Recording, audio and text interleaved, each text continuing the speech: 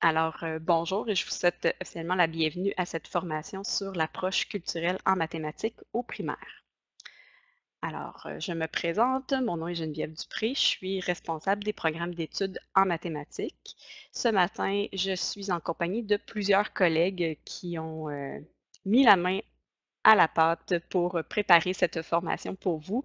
Donc, euh, ma collègue Geneviève Côté, qui est responsable des programmes d'études du domaine des arts et des dossiers culture-éducation. Euh, notre collègue Éric Yel, qui est enseignant en prêt de service euh, pour le domaine des arts également et des dossiers culture-éducation. Marie-Hélène Marco, qui est conseillère en culture-éducation au sein de l'équipe culture-éducation et mes deux collègues en mathématiques, donc Raymond Nolin, enseignant en prêt de service pour le primaire, et Esther Veilleux, enseignante en prêt de service pour le secondaire, tous deux pour le domaine de la mathématique. Alors, voici l'équipe euh, qui vous accompagnera aujourd'hui. Alors, on va d'abord euh, juste préciser les intentions de la rencontre. Donc, euh, aujourd'hui, euh, ce que nous souhaitons, c'est dans un premier temps démontrer toute l'importance du rôle de l'enseignant pour l'intégration de la culture dans, toutes les disciplines, et évidemment aujourd'hui plus particulièrement pour les mathématiques. On va prendre le temps de se définir la notion de repère culturel, bien sûr, et reconnaître quelques repères culturels au cœur de la mathématique. Alors, euh, le déroulement est prévu ainsi. On vous présente, on fera d'abord une petite euh, présentation, un retour sur les compétences professionnelles qui sont relatives à, la culture. On va définir euh, et on va ressortir les caractéristiques d'un repère culturel, pour vous aider à mieux les cibler. ensuite, on va se parler de comment on peut sélectionner des repères culturels. On va bien sûr prendre le temps de regarder des repères culturels en mathématiques et ensuite des pistes d'activités culturelles. Et c'est à ce moment-là que vous serez invité à vivre une petite activité, un petit moment d'échange euh, entre vous. On terminera sur quelques pistes euh, réflexives. Donc, euh, voilà comment se déroulera la présentation. Alors, je cède la parole à ma collègue. Oui, donc, ben, il y a évidemment plusieurs définitions de la culture. on a décidé donc de s'arrêter sur une définition de la culture, donc qui est celle qui apparaît à l'écran, mais il y, a une, version un peu plus élaborée, donc je vais vous lire. L'ensemble des manières de voir, de sentir, de percevoir, de penser, de s'exprimer et de réagir. Ensemble des modes de vie, des croyances, des connaissances, des réalisations, des us et coutumes, traditions, institutions, des normes, des valeurs, des mœurs, des loisirs et des aspirations. Bref, c'est ce qui distingue les membres d'une collectivité et qui cimente aussi son unité à une certaine époque.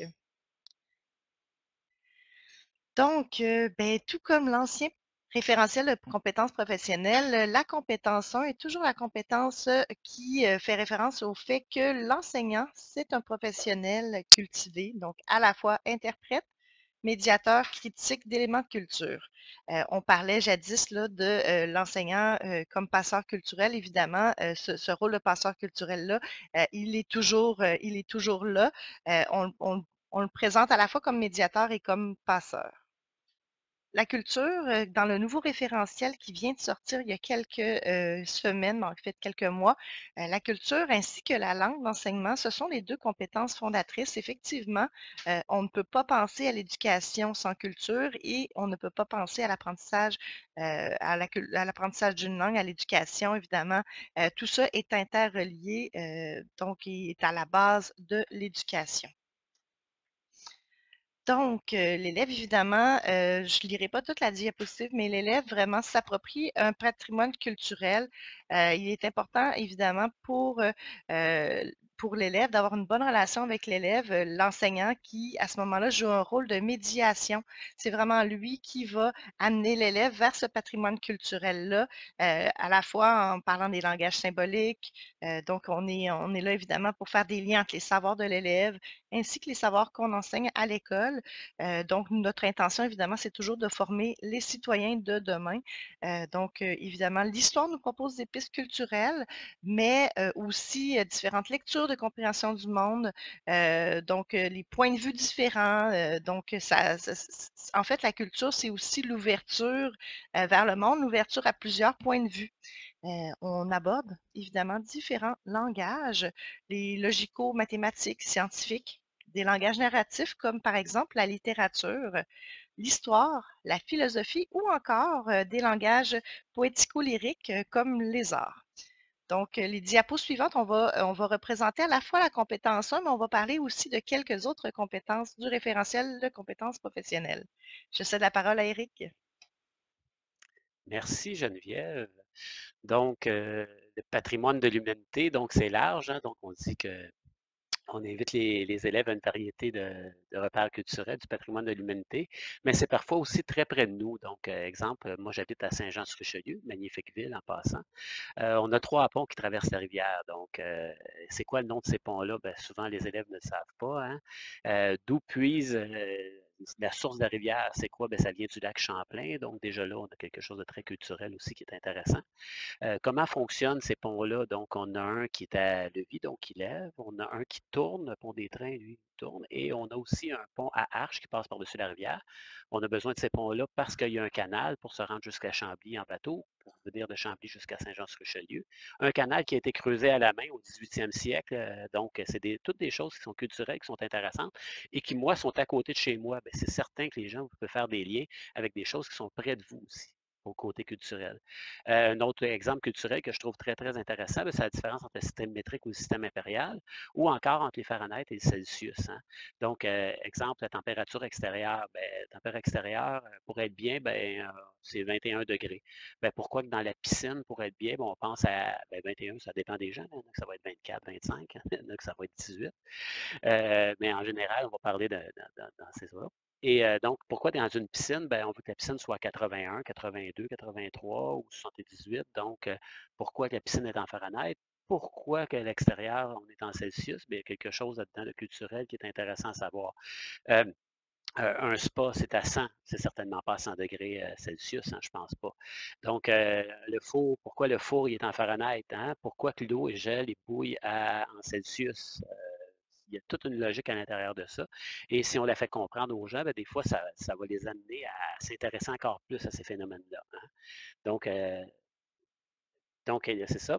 Euh, c'est quoi la logique dans ça? Qui doit faire les liens là-dedans? Ben, c'est l'enseignant souvent qui est le passeur culturel. Hein. Moi, je mesure 5 pieds 11 pouces. Euh, mes garçons mesurent 1m75 et 1m95. 85, euh, excusez. C'est qui le plus grand dans, les trois? Hein? C'est qui le plus petit dans les trois aussi? pourquoi? Pourquoi que moi, je, moi, je suis en pied? Pourquoi eux autres sont en mètre? Hein? mon grand-père mettait des galons dans sa voiture. Ben, moi, je mets des kilowattheures parce que j'ai une voiture électrique. Mais tout ça pour dire que ça change aussi. Euh, est-ce que c'est pareil pour chaque élève? C'est quoi le meilleur système? Ben, ça, c'est tout le temps à savoir et à s'approprier. Euh, je change de diapositive. Pour euh, ben, comment aider à intégrer la culture en classe, ben, savoir ce qu'on enseigne et ce qu'on doit enseigner, c'est très important. Quand on connaît le programme, c'est beaucoup plus facile de faire des liens avec l'histoire, l'actualité, le patrimoine. Euh, est-ce que j'ai raison? Est-ce que c'est possible de penser autrement? Je pense que ça demande beaucoup d'ouverture d'esprit que d'enseigner. Et pourquoi? Est-ce qu'il y a une seule façon de faire? Certainement pas.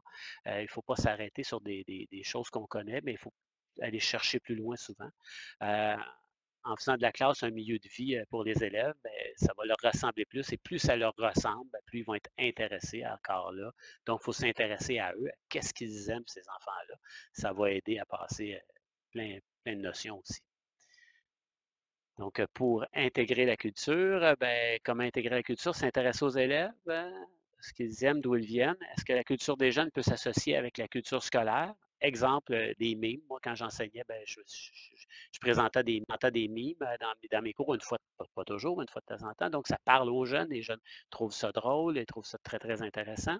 se questionner, pas avoir peur de ce qu'on est. Hein. Exemple, moi, pour moi, un vico, je ne sais pas s'il y en a déjà qui ont entendu parler de ça, mais dans ma région, Vico, c'est un lait au chocolat.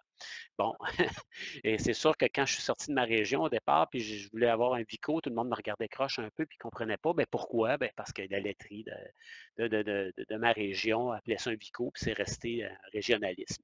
Euh, comme euh, le, comme, comme le, Durex en est un aussi avec euh, le papier collant ou le, scotch tape, on pourrait dire aussi. Donc, euh, c'est ça, c'est pas avoir peur de ce qu'on est, de ce qui a été, puis pourquoi, de chercher pourquoi ces sources-là. Hein. Ça a été très long avant que je cherche que je n'avais pas raison avec un VICO. connaître le quartier et la ville où on travaille, ça va permettre de faire des liens avec ce qui est près de nous. Et la culture est souvent partout et beaucoup plus près que ce qu'on pense. La gestion du groupe va permettre aux enseignants aussi de pouvoir, ça c'est la compétence 6, ça va pouvoir permettre de prendre du temps avec les élèves, ce qui va permettre les échanges à l'intérieur du groupe. Quand on pense à compétence 7, hein, avec euh, ben, la différenciation, nos élèves viennent de milieux différents, on a des besoins différents, mais aussi une culture différente. Ils n'ont pas appris les mêmes choses, ils ne viennent pas des mêmes milieux. Plus on s'intéresse à eux, plus on connaît tout ce qu'ils connaissent, bien, ça va aider tout le monde à, grandir là-dedans, puis à échanger nos connaissances aussi. Euh, et la compétence, compétence 8 qui est très importante aussi, euh, le plaisir d'apprendre. Donc, la relation avec les, les, élèves, les connaître, développer la confiance et la persévérance des élèves, encourager l'autonomie des élèves, ça aussi c'est vraiment important. Intégrer des repères culturels, hein, tirer du bagage des élèves, s'intéresser à eux, si on fait ça, les élèves vont s'intéresser encore plus à ce qui se passe, c'est normal. Susciter l'intérêt et la curiosité des élèves pour la discipline, à l'aide des repères, puis favoriser la collaboration, les échanges, la participation, l'entraide. Amener les élèves à développer leur sentiment d'appartenance. Ça, c'est primordial à l'école, sentiment d'appartenance. Si les élèves ont le goût d'être à l'école, s'ils aiment leur école, s'ils aiment leur milieu, ben nécessairement, ils vont avoir le goût d'apprendre. Merci beaucoup, Eric. Donc, euh, la prochaine diapositive, euh, on, évidemment, là, comme enseignant, euh, donc on est vraiment celui qui qui fait l'équilibre entre les savoirs, donc euh, qui fait aussi le lien, euh, j'ai parlé du rôle de médiateur tout à l'heure, mais qui fait le lien entre la culture immédiate des élèves, donc leur milieu d'origine, euh, l'ensemble des, des, des, a priori, des préjugés, ce qu'ils ont vu, ce qu'ils ont vu de par leur famille, de par leurs médias, publicité au niveau des loisirs, qu'est-ce qu'ils font, c'est qui leurs amis, c'est quoi leur entourage, leur entourage très proche, leur noyau dur. puis, évidemment, l'enseignant les amène vers une culture seconde donc la culture générale, euh, notamment du PFEQ, euh, qui propose différents regards, euh, qui élargit les points de référence. On fait en fait des liens entre ces deux, ces deux cultures-là pour faire du sens. Hein. Vraiment ce qui permet à l'élève de comprendre le pourquoi, pourquoi on, les amène vers des apprentissages. et évidemment, c'est toujours en s'appropriant des éléments propres à la discipline. évidemment, de se distancer aussi, de prendre une distance critique par rapport à la discipline, par rapport à l'apprentissage. les élèves aiment quoi? Qu'est-ce qui touche la génération actuelle? Puis comment on peut amener cette génération actuelle-là vers de nouveaux savoirs. Je cède la parole à Raymond. Donc, dans la prochaine diapositive, on a différentes portes d'entrée pour aborder l'approche culturelle en mathématiques.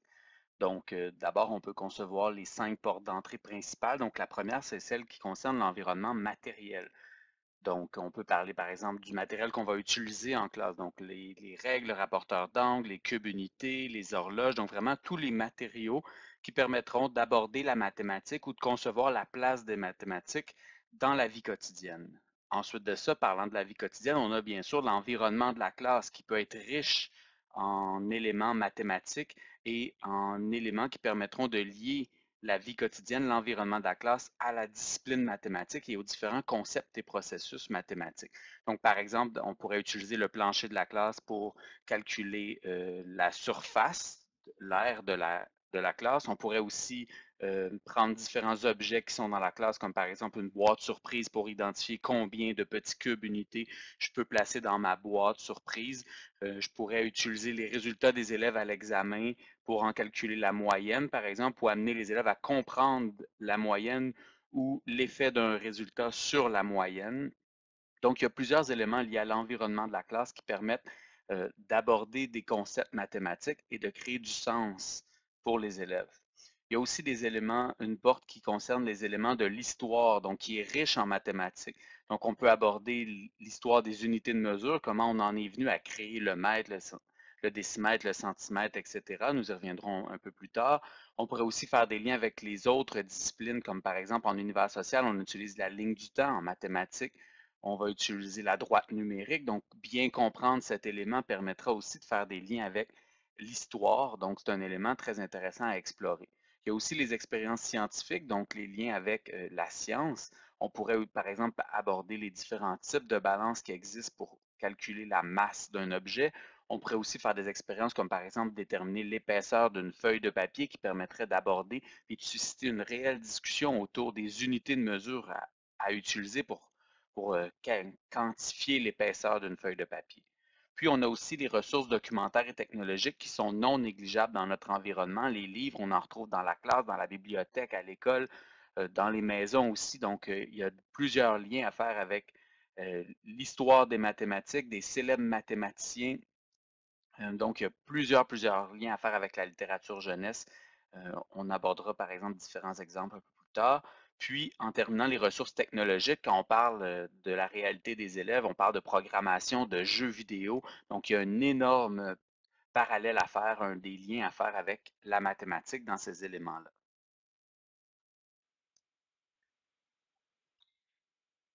Donc, on en arrive à la définition d'un repère culturel. Donc, un repère culturel qui est un objet euh, d'apprentissage sur le plan culturel dont l'exploitation en classe permet à l'élève d'enrichir son rapport tout à la fois à lui-même, aux autres et au monde. Ce qu'on va faire, c'est qu'on va vous donner cinq minutes pour aller visionner la capsule sur les repères culturels. Donc, vous pouvez cliquer directement sur le lien que vous voyez à l'écran. Sinon, j'en mets également un dans le clavardage donc, comme vous pouvez le constater, puis comme la capsule vous a peut-être permis aussi de le constater, les repères culturels peuvent prendre vraiment différentes formes. Je ne lirai pas l'entièreté des formes qui se trouvent à l'écran, mais je vais vous en nommer quelques-unes. Donc, la dernière coupe de la dernière Coupe Stanley du Canadien, l'affiche d'un film, le thermomètre, tout à, tout à la fois le thermomètre d'aujourd'hui, le thermomètre d'hier, un fusil de la bataille des plaines d'Abraham, des ressources, des ressources muséales, le Bas-Canada, une peinture, un livre, une pièce de musique. Euh, ça peut être la découverte de l'uranium, la gauche, la droite, tribord, bâbord, côté court, côté des jardins, bref. Euh, il y a beaucoup de choses qui peuvent être un repère culturel. Ça dépend vraiment de la façon euh, dont l'information, dont l'objet est traité. Les repères proviennent de différents, domaines. On, les associe bien souvent au domaine artistique et au domaine historique, mais euh, également ils peuvent provenir des domaines sociologiques, scientifiques et anthropologiques. Euh, ce, sont, euh, ce sont des objets d'apprentissage d'hier, d'aujourd'hui, d'ici, d'ailleurs. et c'est des, des, repères font la démonstration aussi de l'évolution de l'homme. les découvertes, les inventions en font partie, bien évidemment. La nature d'un repère culturel, hein, d'où ça vient. Donc, exemple, mon grand-père avec ses, galons, ben, ça représente une époque. Hein. Donc, ma génération, on est plus Facebook, les jeunes sont plus TikTok présentement. Donc, encore là, c'est des époques. des courants de pensée, d'une société à l'autre, les valeurs sont différentes. On a juste à penser au droit de vote, à la liberté d'expression dans certains pays. L'histoire nous pose aussi un problème présentement. Il y aura des répercussions. il y en a eu avant, donc des problèmes historiques. la créativité de l'homme, donc c'est sans limite, puis ça permet des avancées sur plusieurs points. Donc, les repères, euh, qu'est-ce que ça permet un repère? Ben, ça permet à l'élève de connaître et de comprendre des facettes de la vie euh, et de la matière. Hein, de lui ouvrir l'esprit avec des choses qu'il ne connaît pas. Euh, exemple, la copine de mon garçon est anglophone, ben, elle apprend des nouvelles choses quand elle vient chez moi, puis moi, j'apprends des nouvelles choses d'elle parce qu'elle a une culture que moi, je n'ai pas, puis moi, j'ai une culture qu'elle n'avait pas. Fait qu'il y a un échange qui est très, très, très intéressant personne n'est pareil, puis a la même orientation, la même pensée. Donc, euh, pourquoi on parlait des galons à l'époque, euh, on ne sait pas. Hein. De se situer, de comparer sans porter de jugement, puis de comprendre. Quand on comprend, ça va nous aider à évoluer dans la société.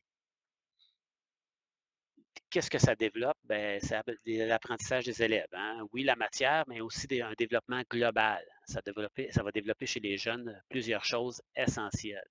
Donc, hein, on parle l'imaginaire, l'esprit critique, l'intérêt, ben, la fréquentation des lieux culturels. Si on si ne parle pas des lieux culturels, si on ne dirige pas les jeunes vers ces lieux-là, ben, c'est difficile d'avoir envie d'y aller. Mais quand on comprend toute la richesse qu'il y a à l'intérieur de ces lieux-là, ben, c'est sûr que ça aide, euh, ça, aide ça aide la culture euh, de la population.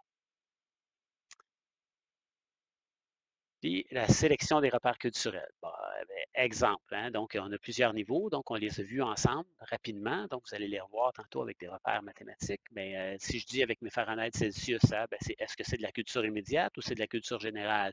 Euh, ils représentent quoi? Ça représente quoi? Ils viennent d'où? Hein? Pourquoi qu'on a fait une nouvelle mesure? Ben, euh, les, les, Fahrenheit viennent d'Allemagne, les Celsius viennent de, Suède. Donc, et pourquoi donc les, pourquoi que les Celsius sont arrivés? Ben, parce que c'était plus simple. Donc, c'était plus facile après ça de le faire avec un 0 et un 100 que pour le calcul. Mais les Fahrenheit sont plus précis. Donc, c'est toutes des petites choses comme ça qu'on doit savoir, puis que tant qu'on donne le repère, bien, ça aide les gens à comprendre pourquoi on a ces mesures-là. Je vais laisser la parole à mon collègue Raymond. La fiche, la sélection des repères culturels, donc, cette fiche-là présente exactement les quatre niveaux que Eric vient de vous présenter. Donc, le niveau 1 qui est définir l'origine. Donc, est-ce que c'est un repère culturel que je souhaite implanter dans ma classe en lien avec la culture immédiate euh, des élèves ou plutôt un lien pour amener la culture générale des élèves, l'héritage culturel d'ici et d'ailleurs, l'histoire des mathématiques, les mathématiciens, donc des manifestations de la culture à travers le monde? Ensuite, on a un deuxième niveau qui est définir la nature du repère. Donc, dans l'exemple tout à l'heure, on parlait d'où vient ce repère-là. Est-ce qu'il représente une époque, un courant de pensée, euh, les valeurs de la société? Est-ce que euh, ça, permet de répondre aux problèmes posés à travers les différentes époques? Est-ce que ça relève, le pouvoir de l'imaginaire et la créativité de l'homme? Donc, vraiment définir la nature du repère culturel que je souhaite euh, intégrer à mon enseignement des mathématiques. Par la suite, le niveau 3 permet de définir les apprentissages. Donc, est-ce que ça amène les élèves à une ouverture à l'environnement immédiat, une ouverture aux réalités extérieures ou encore au, développement personnel de l'élève? Puis, le niveau 4 permet d'établir les liens avec le, programme de formation de l'École québécoise. Donc, on peut établir des liens avec les compétences disciplinaires en mathématiques. On peut aussi euh, établir des liens avec l'exploitation en classe. Donc, par exemple, au primaire, on sait qu'on fait plusieurs projets interdisciplinaires, donc il y a moyen d'intégrer nos repères culturels à différents projets interdisciplinaires ou encore à diverses situations d'apprentissage et d'évaluation. On peut penser également à nos domaines généraux de formation ou à nos compétences transversales qui euh, permettent d'intégrer différents repères culturels pour mettre en valeur euh, la culture au sein de la discipline. Ici, on aborde les mathématiques. Donc, vous pourrez télécharger cette diapositive-là en allant dans les documents à télécharger. C'est le document qui s'appelle Fiche la sélection des repères culturels mathématiques. Je cède maintenant la parole à Madame Côté. Oui, donc euh, les principes qui aident l'intégration de la dimension culturelle à l'école, euh, évidemment, on en a parlé, donc connaître l'histoire, les méthodes, tous les principes donc liés à l'évolution de la discipline enseignée. Il faut maîtriser les compétences, les principes toutes les notions inhérentes à cette discipline-là, la compétence pédagogique, la discipline enseignée. Et évidemment, euh, on s'assure de la validité de l'information rendue aux élèves, mais aussi on s'assure que l'élève est capable d'aller par la suite valider euh, l'information euh, qu'il trouve, qu'il trouvera aussi sur le net. évidemment, c'est toujours lié à la motivation de l'élève. Donc, Évidemment, pour ce faire, il faut diversifier les ressources éducatives, humaines, matérielles, euh, techniques, environnementales. Il faut se méfier de l'élitisme, du populisme, euh, euh, des, clichés, des préjugés. donc, il faut ne pas être, donc, se garder d'être dogmatique, moralisateur, puis éviter aussi qu'on tombe toujours dans les repères culturels d'un même type de culture par exemple, dans la, souvent, on a tendance à vouloir aller vers la culture immédiate de l'élève. On se dit, bon, ben, c'est proche de l'élève, ça va le concerner, ça va l'intéresser davantage si on est là, mais c'est important de, oui, s'intéresser à sa culture immédiate, mais de l'amener plus loin euh, vers une culture générale.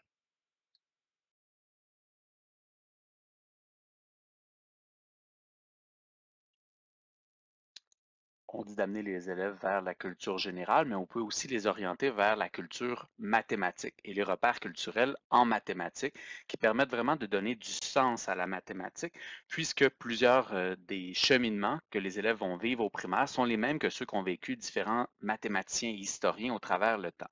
Donc, après vous avoir expliqué ce qu'est un repère culturel, nous vous présentons dans cette deuxième partie de notre rencontre euh, l'approche culturelle en mathématiques au primaire et on va aborder euh, spécifiquement différents repères culturels en lien avec les différents champs de la mathématique. Donc, il faut savoir que dans le programme de mathématiques du primaire, nous avons une citation qui mentionne que l'introduction d'une dimension historique dans l'enseignement de la mathématique constitue une excellente façon de rehausser le niveau culturel.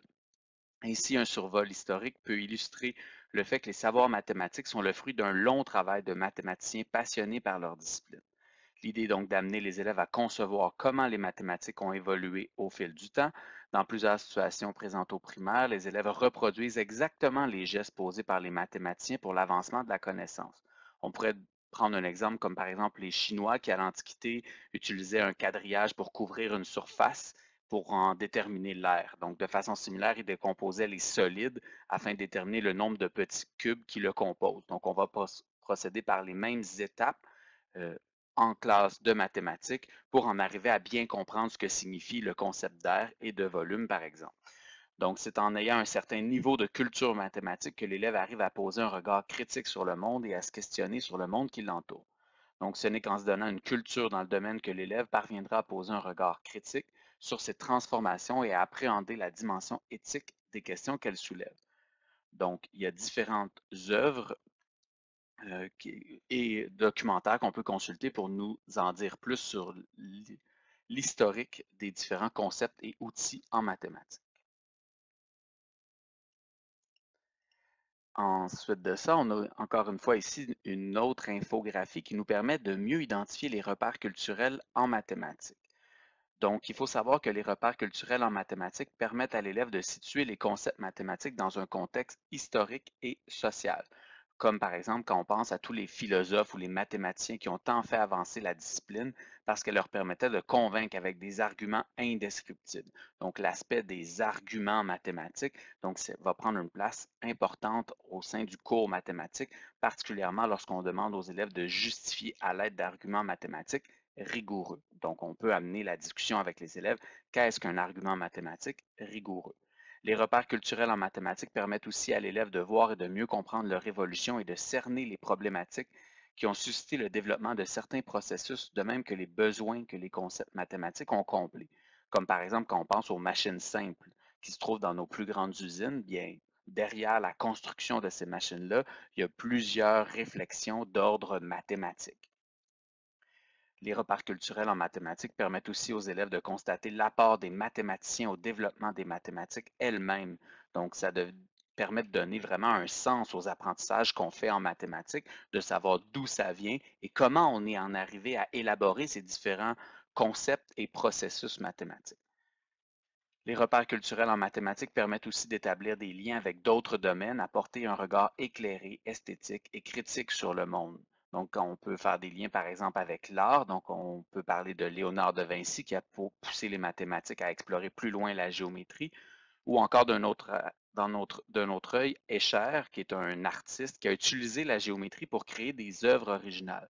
Donc, c'est intéressant de voir comment l'art a inspiré la mathématique, mais également de l'autre côté, comment la mathématique peut inspirer l'art.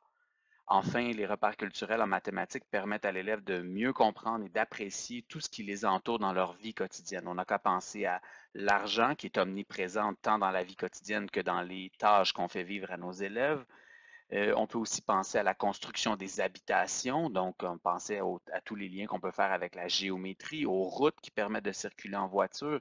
Bref, les mathématiques sont partout autour de nous. C'est à nous, en tant qu'enseignants, de faire prendre conscience de cet élément aux élèves.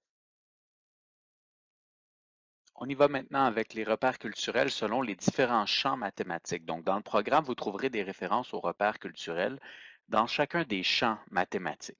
Puisqu'il y a encore des exemples donnés concernant les repères culturels, plus nous avançons dans les programmes de mathématiques, comme par exemple ceux du premier cycle et du deuxième cycle du secondaire, nous invitons à aller lire tout ce qui concerne les repères culturels de tous les niveaux dans les programmes du secondaire également. Donc, il y a beaucoup plus d'informations, puis des liens que vous pouvez certainement faire avec les différents champs ou les concepts et processus mathématiques qu'on aborde au primaire. Donc, ces, sections vous inspireront de belles idées à exploiter. Dans les prochaines diapositives, nous allons vous présenter quelques exemples des repères culturels que nous trouvons dans le programme de formation de l'École québécoise, agrémentés à d'autres idées tirées de notre expérience personnelle. Vous serez alors à même de constater qu'il existe des repères culturels pour chacun des champs de la mathématique et je suis convaincu que vous en aborderez, abordez déjà plusieurs de façon informelle. Pour ceux qui souhaiteraient ajouter un aspect culturel à leur enseignement des mathématiques, nous vous proposerons différentes pistes pour intégrer des repères à vos pratiques actuelles. Cela pourrait se faire par l'entremise des diverses tâches de résolution de problèmes, par exemple, auxquelles on peut donner une saveur culturelle. Après vous avoir présenté différentes pistes pour l'intégration des repères culturels aux mathématiques, vous aurez la chance à votre tour d'échanger des idées lors de différents ateliers. Donc, allons-y avec l'arithmétique. Donc, du côté de l'arithmétique et du sens du nombre, si on regarde l'origine et la création des nombres, on pourrait aborder ce repère en mentionnant toute l'importance des proportions dans plusieurs domaines, la place des fractions dans l'histoire. Donc, quand on pense au troc, on en est arrivé à aborder des fractions dans les échanges. Donc, comment on a utilisé les fractions, comment on est arrivé à établir des fractions pour faciliter les échanges. On peut parler de la révolution qu'a apporté aux mathématiques l'apparition du nombre zéro, alors que pour certains peuples, le nombre zéro ou la quantité qui représente zéro était inexistante. Donc, il y a tout un travail dans l'aspect mathématique par rapport à l'apparition du nombre zéro. Si on pense à l'évolution dans l'écriture des nombres, donc on peut penser aussi aux différentes façons aussi différents systèmes de numération, mais aussi aux différentes façons d'écrire les nombres, comme par exemple le fait qu'on utilise l'écriture des chiffres arabes actuellement. Quand on pense aux différents systèmes de numération, on peut penser au système arabe, romain, babylonien, babylonien maya. Donc, c'est intéressant d'aller s'intéresser à ces différentes façons d'utiliser la numération, puis de bien comprendre ces systèmes-là permettra par la suite de comprendre notre système de numération en base 10. Donc, on peut aborder les caractéristiques, les avantages, les inconvénients de ces différents systèmes de numération. On peut parler aussi du contexte social, c'est-à-dire de démontrer à quel point l'arithmétique et les nombres sont partout dans l'environnement qui nous entoure. On n'a qu'à regarder la date, les numéros de téléphone, les adresses, la façon dont la ville est organisée, euh, on peut parler de l'âge, on peut parler des prix, des quantités, des masses, des grandeurs. Donc, les mathématiques et l'arithmétique, particulièrement les nombres, sont partout dans le monde qui nous entoure. Lorsqu'on regarde tout ce qui concerne l'arithmétique et plus précisément les opérations, on peut bien sûr aborder les processus personnels ou conventionnels de calcul. Donc, laisser les élèves découvrir différents algorithmes de calcul, les façons différentes qu'utilisent d'autres peuples pour faire des divisions, comme par exemple au Japon, au Brésil, plusieurs pays d'Afrique. Donc, ça aussi, c'est une exploration intéressante qui est directement liée à la culture. Puis, si on enseigne en milieu pluriethnique, euh, ben, ça peut être intéressant d'aller chercher la culture des élèves pour l'intégrer à notre cours de mathématiques également. Ça permet tellement aux élèves de se sentir reconnus à l'intérieur d'une discipline comme la mathématique. Quand on pense aux technologies aussi, on peut parler à l'évolution euh, des opérations. Donc, on peut parler aux outils comme les bâtonnets, les traits, euh, le calendrier de Robinson, euh, le boulier, les abacs, la calculatrice et maintenant les logiciels informatiques. Donc, pour tous ces éléments-là, on peut parler des limites, des avantages, des inconvénients et on peut faire découvrir l'histoire de la calculatrice aux élèves et pourquoi pas leur permettre d'utiliser eux-mêmes d'anciens outils de calcul. Je pense notamment au troisième cycle du primaire.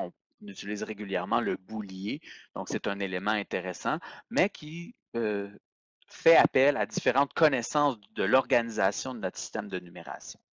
On peut aussi aborder les, les, symboles, leur origine, leur évolution, les besoins, les mathématiciens qui ont travaillé à élaborer ces symboles-là, puis, on peut faire des distinctions particulières sur le plan culturel qui peuvent être mises de l'avant. Je pense par exemple aux Français qui utilisent le deux points pour la division, alors que nous, au, Québec, du moins selon le programme, on utilise le, symbole plus traditionnel. Donc, on voit que même le même processus, selon, la culture des élèves, on peut utiliser différents symboles. On doit amener euh, les élèves à développer cette ouverture-là. Ensuite, les contextes interdisciplinaires ou sociaux. Donc, euh, c'est tellement enrichissant et stimulant pour les élèves de travailler les mathématiques en partant de la littérature, de l'histoire, des sciences. C'est possible de faire différents liens euh, avec la littérature de jeunesse qui permet d'aborder ces différents thèmes-là aussi. Je vous en présenterai un exemple un peu plus tard Ensuite, quand on se retourne du côté de la géométrique, de la géométrie, les figures géométriques, ça pourrait être les solides, les figures planes. Donc, on se rend compte qu'elles sont présentes partout autour de nous. D'ailleurs, dès le premier cycle du primaire, on amène les élèves à repérer des figures géométriques et des solides dans leur environnement. Donc, c'est un élément important pour donner du sens à la mathématique.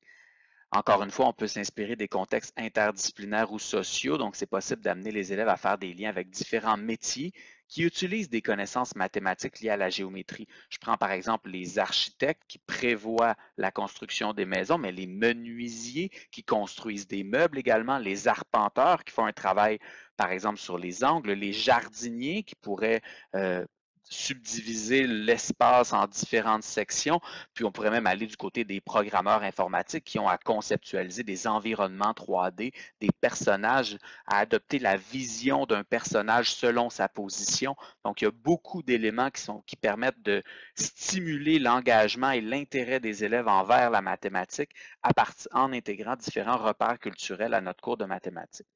On peut aussi parler en géométrie des symboles, leur origine, leur évolution, les besoins qu'ils comblent. On pourrait aussi aborder les mathématiciens, encore une fois, qui nous ont permis de les connaître et de les nommer. On pense, on regarde ici dans le programme, on parle du symbole d'angle, du symbole de parallèle, de perpendiculaire. Un classique qu'on utilise au primaire pour les parallèles, c'est les rails de chemin de fer, hein, qui, qui se rencontrent rarement, celui de gauche et de droite. Par contre, on peut avoir des jonctions.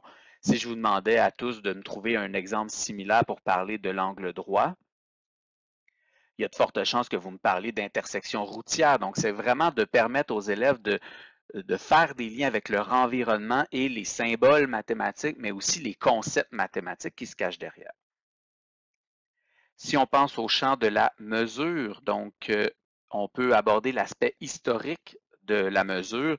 Donc, il y a une si grande importance ici au Québec puisque notre façon de mesurer nous vient à la fois des Français et des Britanniques. Donc, euh, le monsieur Éric plutôt en parlait, la distinction entre les pouces, les pieds, les verges et à l'opposé, les centimètres, les décimètres et les mètres. Donc, il y a tout un parallèle à faire. Pourquoi préférer l'un à l'autre? Est-ce qu'il y en a un qui est plus basé sur notre système de numération en base 10? Donc, il y a toutes des discussions, des réflexions à y avoir, puis il y a moyen d'intégrer à ça différents aspects historiques. Quand on parle d'unité de mesure, on peut aborder l'évolution selon les besoins. Pourquoi pied un pouce? Comme pourquoi mesurer de cette façon-là nos ancêtres. On peut demander aux élèves de faire une expérience qui leur permet de constater l'importance des mesures dans le quotidien. Donc, par exemple, en agriculture, les mesures agraires, en astronomie, euh, des mesures uniformes euh, qui permettent d'acquérir un certain niveau de précision. On peut aussi parler des instruments, qui, ont une place importante lorsqu'on parle des mesures. Donc, les approches rudimentaires pour mesurer le temps, comme par exemple utiliser un sablier. Euh, la mesure du temps est un défi pour plusieurs élèves, donc leur permet d'utiliser un horloge, un chronomètre, différents outils tout ce qui concerne les symboles aussi, donc permettre aux élèves de faire découvrir les besoins qui ont amené à, utiliser des symboles. Puis là, je pense particulièrement à l'abréviation de minutes et de mètres qui peuvent causer certains problèmes dans une tâche. Je pense à une résolution de problème en particulier où on aurait des minutes et des mètres et l'élève qui n'utilise pas la bonne abréviation risque de, d'avoir de certaines difficultés à distinguer les calculs qui lui permettent de calculer du temps versus des longueurs. Donc, ça pourrait représenter un défi particulier. Donc, c'est intéressant d'avoir ces discussions-là avec nos élèves. Enfin, en ce qui concerne les probabilités, les statistiques, donc c'est important de sensibiliser les élèves à l'origine et à l'évolution des expériences aléatoires du calcul des probabilités. Pour ça, on peut remonter à l'origine des jeux de hasard. On peut amener les élèves à faire une analyse critique des jeux de hasard. Donc, il y a plusieurs liens avec l'histoire qu'on peut faire, mais on peut aussi faire des liens avec euh, la vie quotidienne, comme par exemple dans la classe, j'utilise un, un pot avec des bâtonnets qui me permet de tirer un élève au hasard. Donc, je peux faire des liens avec cet élément du quotidien-là parce que ça fait partie de la classe, de l'environnement de la classe, mais aussi du quotidien des élèves. De la même façon, en statistique, c'est possible de se questionner sur l'évolution des sondages à travers les époques. Donc, comment on est venu à, travailler les sondages pour le recensement, pour, pour aller chercher des impôts? Donc, on, il y a une grande évolution de la statistique au début du 20e siècle puis développer l'habileté des élèves à traiter, à analyser les données statistiques. On pourrait faire des liens faciles entre les éléments de l'actualité, comme la présence des diagrammes dans les journaux. C'est quotidien actuellement dans les contextes qu'on vit. Donc, en réalité, notre vie quotidienne est truffée de données qualitatives, quantitatives, de diagrammes, de graphiques. On parle de moyenne, on fait des prédictions, il y a des pourcentages. Donc, tous ces éléments font partie des repères culturels à explorer en mathématiques, mais font également partie de la vie quotidienne des élèves. Bonjour à tous et à toutes. Je pense qu'avec les exemples que Raymond vient de nous démontrer, là, on voit bien que la culture mathématique est très riche à faire émerger. Et c'est ça un peu l'objectif de l'intégration de la culture à l'école, c'est de faire émerger la culture mathématique pour mieux ancrer les apprentissages. Donc, je pense qu'on peut garder ça en tête. Peut-être que vous vous dites, oh là là, par quoi je commence? Là? oui, il y a plein de possibilités, puis ça fait beaucoup d'informations en, peu de temps.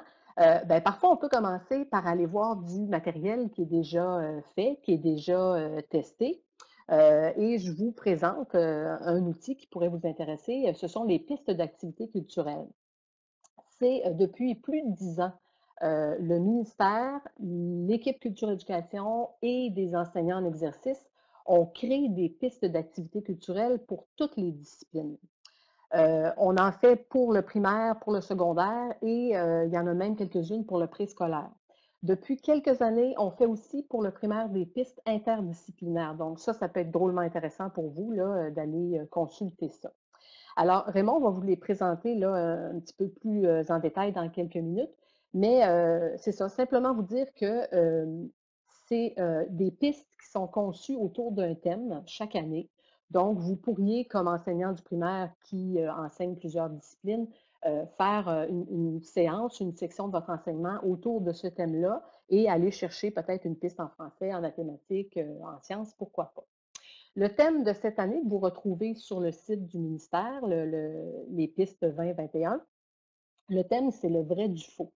Alors, ça nous semblait intéressant de, faire naviguer les élèves dans cet univers où parfois c'est difficile de reconnaître le vrai du faux, où de plus en plus les apparences sont trompeuses, les informations dans les médias se contredisent.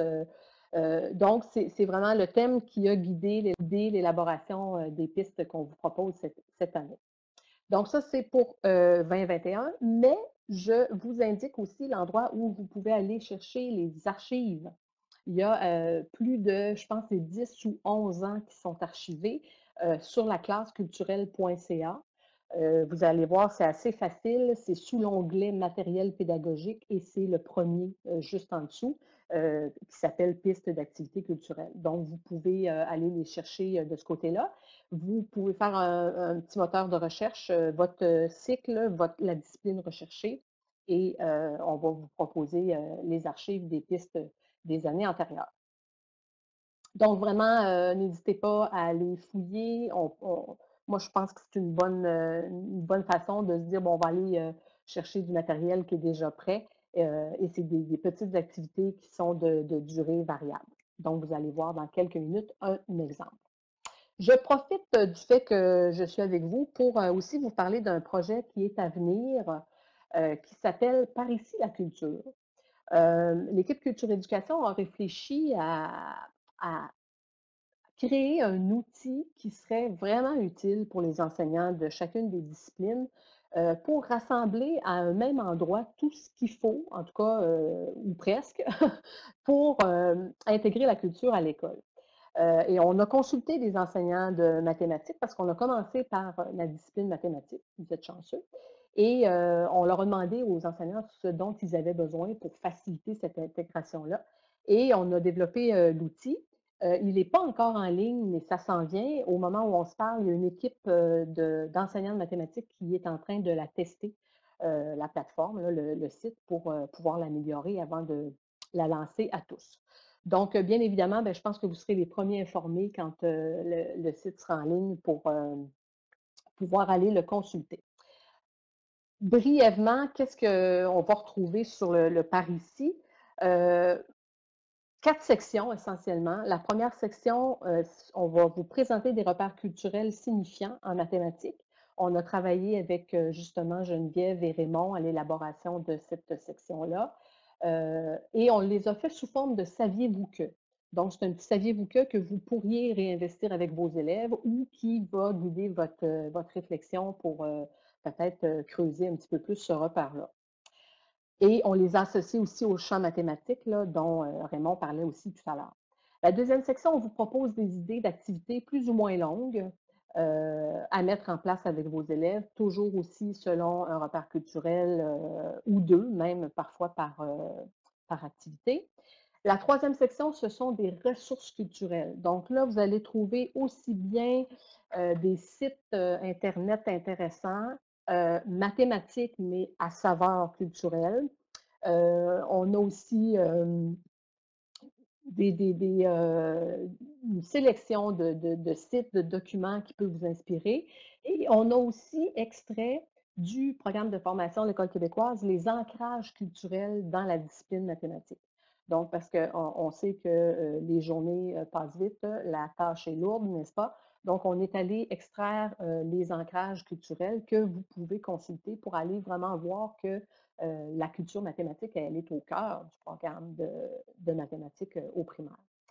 Et finalement, on a une section où, que l'on appelle les espaces culturels, où on peut vous donner des idées pour aménager soit une partie de votre classe ou une partie de l'école. Pourquoi ne pas aller solliciter des, collègues dédiés un petit coin à la culture, à la bibliothèque ou autre. Donc, vous aurez, des, vous aurez des idées. Et aussi, on a sélectionné une série de professionnels qui pourraient être intéressants à solliciter, même parfois, là, on est habitué de travailler en ligne, donc pourquoi on ne pourrait pas interroger un statisticien un matin par, par, par Internet, un architecte. donc, vous avez toute une série de références que vous pouvez, qui peuvent aussi vous aider.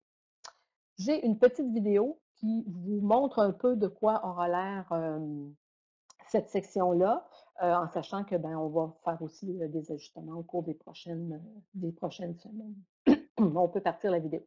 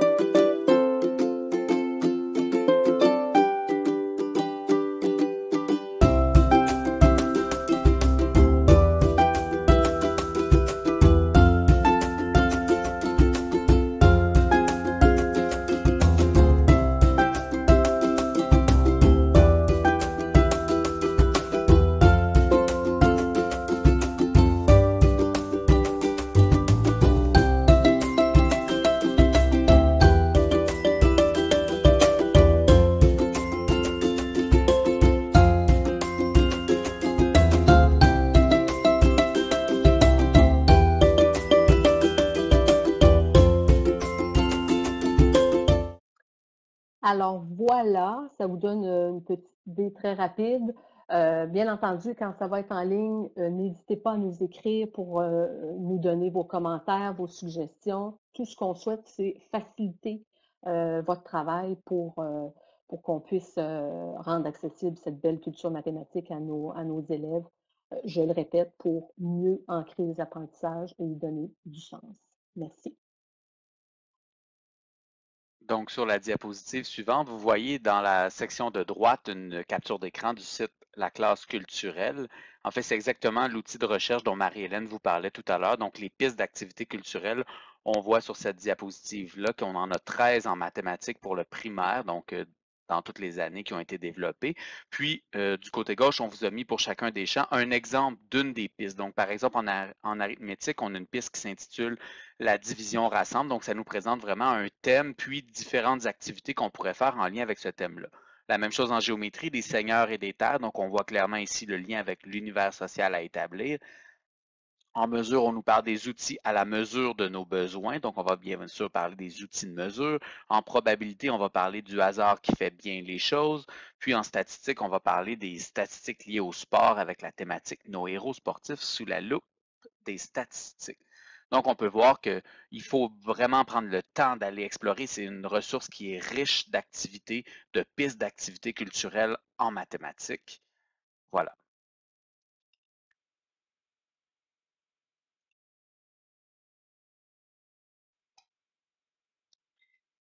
Donc, simplement pour euh, parler un peu de comment c'est structuré une piste d'activité, euh, elles sont toutes, euh, les celles des dernières années sont toutes structurées de la même manière, soit donc les repères culturels.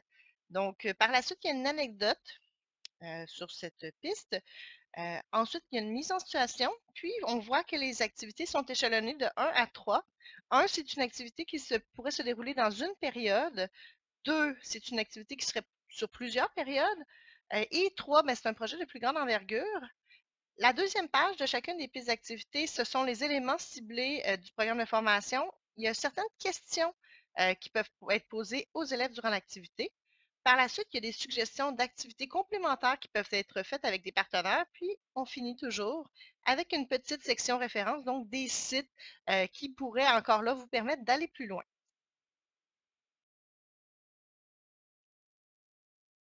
Donc, après vous avoir parlé des différents euh, repères culturels que l'on retrouve dans le programme de mathématiques, mais aussi vous avoir parlé des différents sites qui permettent d'explorer euh, d'autres pistes qui ont été préparées pour vous, on est maintenant intéressé à vous entendre, vous, nous parler de ce que vous faites dans votre classe et nous allons choisir trois thématiques pour vous permettre aussi d'avoir des idées, de nommer des activités que vous pourriez mettre en place selon différentes modalités.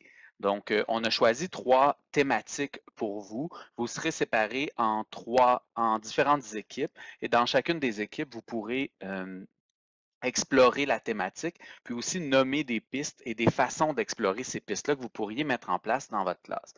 Donc euh, voilà, donc les ateliers seront d'une durée de 10 minutes pendant laquelle vous pourrez échanger et surtout utiliser les outils d'annotation pour inscrire vos idées. L'un des animateurs de la rencontre vous accompagnera dans chacun des ateliers. Et euh, avant la fin de l'atelier, nous vous demandons de nommer un porte-parole qui fera un retour sur les idées soulevées durant l'atelier. Donc, après vous avoir présenté ces ateliers, vous avez ressorti de très belles idées pour chacune des équipes. On peut aussi euh, aller plus loin en s'inspirant de, des différentes cultures donc, notamment la culture inuit. Euh, on peut parler du système de numération qu'utilisent les Inuits. Donc, c'est intéressant. On aborde déjà ce peuple en univers social-là au troisième cycle du primaire.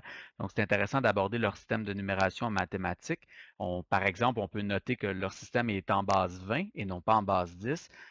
La raison qui explique ça, c'est qu'ils ont 10 doigts, 10 orteils, donc ils ont instauré, créé un système en base 20. Ça a un effet sur la façon de nommer les nombres, hein, puisqu'ils n'utilisent pas la langue française ou anglaise. Et donc, par exemple, le nombre 10 se dit clit, Q-U-L-I-T, et signifie haut parce qu'il doit être associé aux deux bras, et donc les 10 doigts. Puis le nombre 5, par exemple, c'est Talima, T-A-L-L-I-M-A-T. Je ne sais pas si la prononciation prononciation est bonne, ça désigne un seul bras qui est les euh, cinq doigts. Donc, il y a un élément vraiment intéressant d'en comprendre comment est organisé le système de numération, mais aussi comment on nomme les, nombres dans ce cas-ci. Cas donc, euh, du coup, donc c'est l'exemple que vous avez ici, l'info-langue, euh, qui est une source de Louise Poirier, professeur au département de didactique. Puis cette infolangue précisément-là a été pris dans le document Elodil de l'Université de Montréal. Du côté droit de la diapositive, on vous a mis aussi un lien pour en découvrir davantage sur différents systèmes de numération. Donc ici, vous avez un site qui vous présente plus de 200 systèmes de numération utilisés à travers le nombre. Donc, euh, on pourrait, par exemple, euh, donner des systèmes de numération à des élèves ou amener les élèves à aller découvrir certains systèmes de numération et vraiment comprendre leur organisation. Donc, comment on nomme les nombres? Est-ce que c'est un système en base 10, en base 20, en base 60? Donc, je trouve intéressant toutes les activités et les pistes d'activités qu'on peut faire avec ça pour découvrir l'organisation des systèmes de numération. Ensuite de ça, on pourrait aussi s'inspirer des repères culturels liés aux Premières Nations, comme par exemple le wampum, donc qui est un objet sacré et politique des Premières Nations, qui est créé à partir de coquillages colorés. Donc, on pourrait faire directement le lien avec les dallages qu'on travaille au primaire. Donc, puisque les wampum sont des coquillages colorés qui forment un dessin géométrique qui servait de rappel pour les messagers qui allaient sceller des ententes politiques entre les peuples. Donc, certains wampum servaient également à rappeler certaines prophéties, puis les wampum ont un caractère sacré pour les peuples des Premières Nations. Donc, on pourrait proposer aux élèves de créer leur propre wampum en racontant une histoire ou en ayant en tête un message à présenter. On pourrait aussi s'inspirer du temps, des saisons. Donc, pour, pour les Premières Nations, le temps, les saisons, ils n'avaient pas nécessairement de calendrier. Donc, ils observaient la nature, l'évolution, le cycle des saisons. Donc, vraiment, il y avait tout un, un élément lié au temps. On sait que c'est un concept abstrait, difficile à comprendre pour les élèves.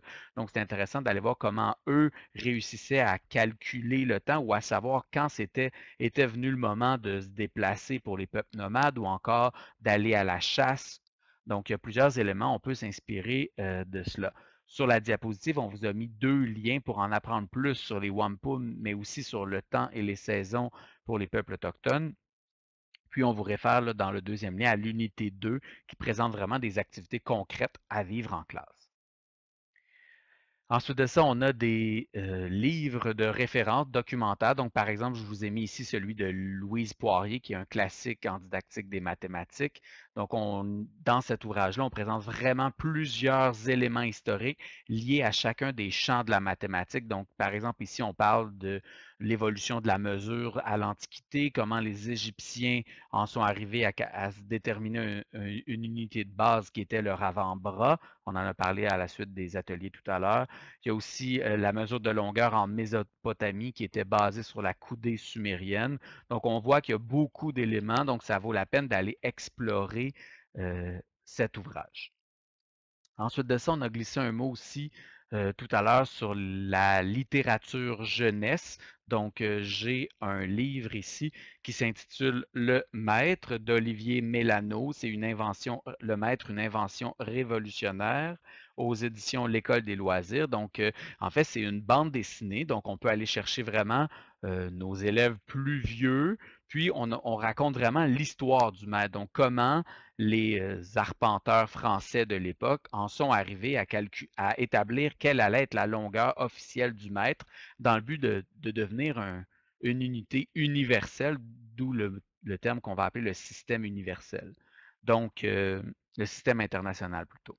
Donc, c'est très intéressant. Puis un, puis un autre élément très intéressant, c'est qu'à la fin du livre, donc tout d'abord, c'est une bande dessinée. On raconte vraiment bien l'histoire.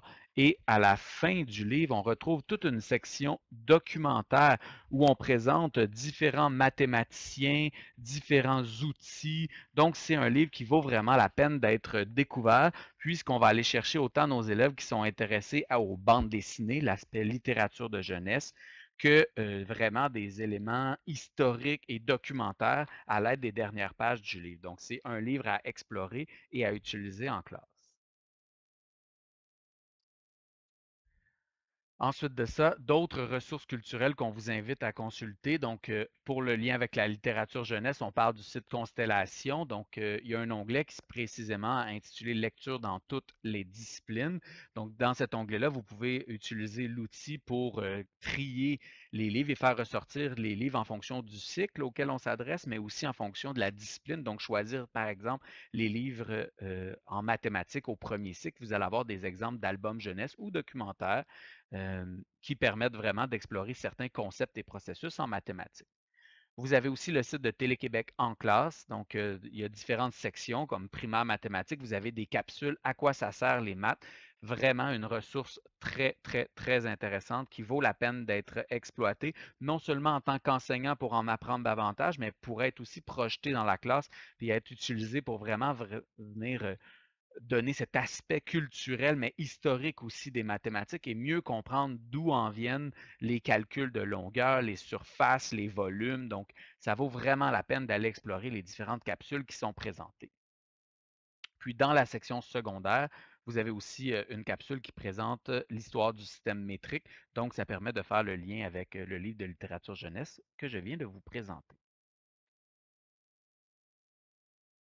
Des pistes réflexives pour terminer notre présentation d'aujourd'hui? Croyez-vous envisageable d'intégrer davantage une dimension culturelle à votre enseignement?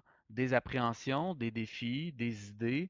En fait, je pense qu'aujourd'hui, simplement par les ateliers, on a pu démontrer que vous il y a déjà plusieurs éléments liés au repères culturel qui sont intégrés à votre enseignement. J'espère qu'on aura pu allumer certaines certaines lumières dans votre esprit qui vous permettront d'ajouter certains éléments culturels à votre enseignement des mathématiques. Parfois, il suffit d'un saviez-vous que pour stimuler les élèves et les engager dans la tâche? Parfois, on peut donner une tâche à saveur euh, culturelle. Donc, il y a plusieurs pistes pour exploiter les repères culturels en mathématiques. Pour toute question, euh, besoin de clarification, n'hésitez pas à nous écrire. Donc, l'équipe des programmes d'études en mathématiques et l'équipe des cultures éducation. Donc, euh, nous sommes là pour répondre à vos questions, pour vous accompagner. Donc, n'hésitez pas à nous écrire.